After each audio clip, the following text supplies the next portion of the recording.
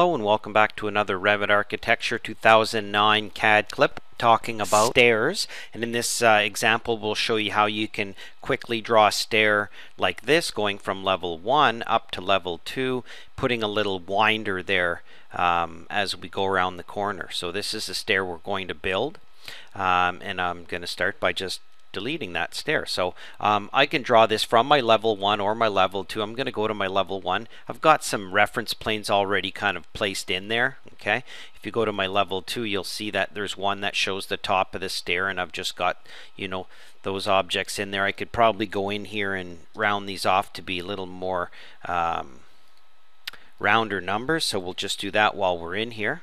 Okay, and then back to my level 1. I'm going to start by going to modeling and then say stairs.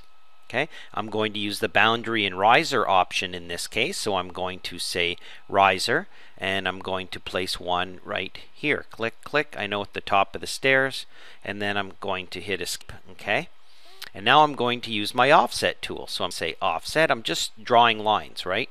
And I'm going to offset by 11 inches. And now this is you have to be careful you don't offset a line on top of a line. So you don't do this too quickly. You just kind of have to take your time. Notice it's counting down. Four risers five risers 11 remaining. Okay? Click on there. Then I draw another riser over here. Now this winder doesn't have to be right at this intersection. Okay? You can set these to uh, risers back a little bit. So if you need some room, sometimes there's an inch or two of space in there, you can do that as well. Okay, back to my offset command, offset by 11 inches. Again, be very careful you don't go to the wrong side and offset a line on top of a line because it will cause you problems to no end. In all, if um, all else fails, just delete them all. Okay, just go in and grab them all and then delete them and then start again if you're not sure. So now I've got 14 down, 2 remaining. So I'm going to add in my risers that are going from here somewhere in the middle there. Okay, and I'll be able to um, draw those actually quicker and more centered if I draw my boundary line. So I'm going to leave these two winder steps in. I'm going to go straight to boundary. The key is with boundary is you have to stop and start wherever the uh, stringer will go from one slope to another or from flat to slope. So I'm going to actually draw this all the way to here like you might think you want to do and then all the way to there. We're forming and then I can draw another one that goes from here to here and then another one from there to there. So those are boundary lines, escape, escape. They don't have to be a closed polygon. They can even extend a little bit beyond there if you want to extend that stringer. So these, think of your boundaries as your stringers. Now the key here is you have to break that at that point. So I could have either either drawn it separate segments or I can go in after the fact and say split right there. Split again right there. Now I can click modify. So this is a segment this is a segment. This is another segment. Again, again, and again. If you create a little toe space or whatever you, you set this back, you're going to want to split there and you'll have a little segment as well. Okay, so wherever the stringer is going to change angles, uh, that you need a split line in there. So now I can go in and draw my extra riser lines because my snap is going to find that midpoint right there. Isn't that nice? Draw another riser line from here to there. Click. Escape, escape. I can go to a 3D view and see what I've been drawing here. And I can edit this from 3D if I want. Okay, once I'm in sketch mode, I can even edit it from level 2. So it says 17 risers created minus 1. So I've actually got one too many risers, okay? So I'm going to click on this guy and delete it. Now it says 16 risers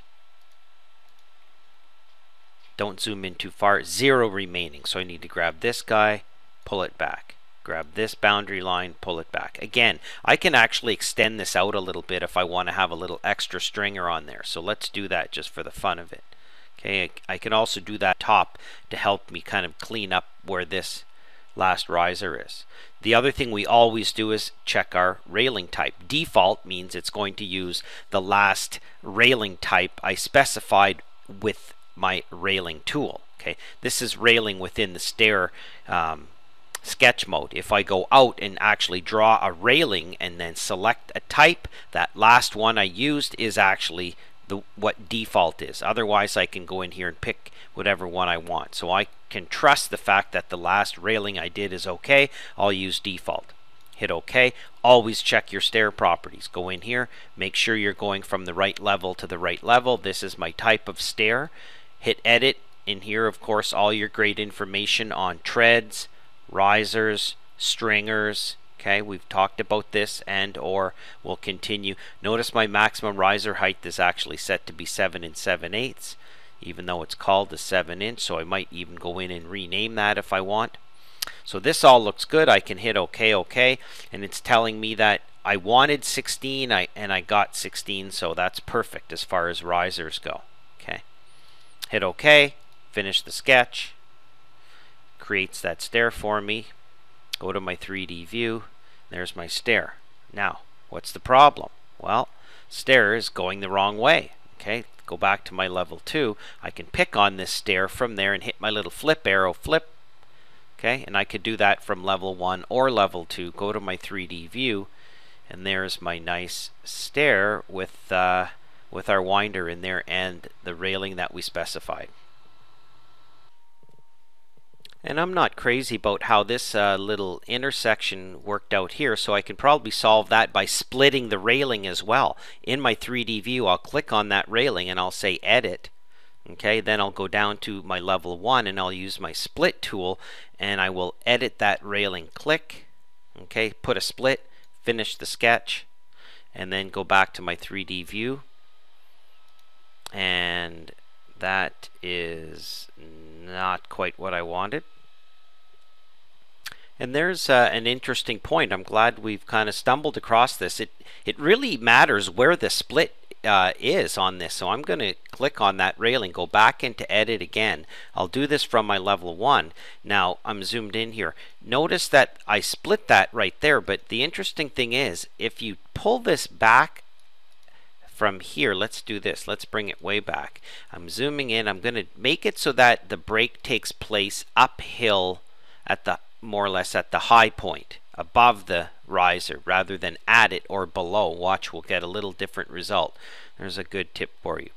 So finish the sketch and go back to my 3D view and then we get a little different configuration. So that's a great example of providing a split for the railing, okay, and this also may apply to stairs as the boundary and where the split actually uh, is positioned uh, with regards to the uh, adjacent riser.